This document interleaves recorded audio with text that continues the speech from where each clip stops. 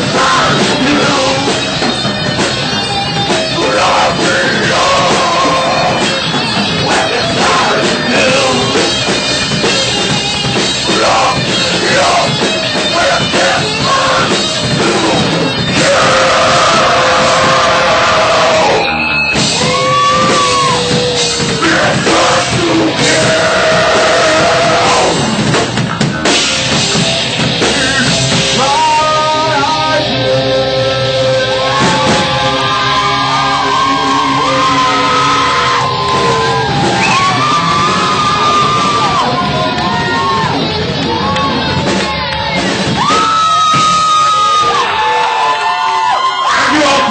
Fuck out.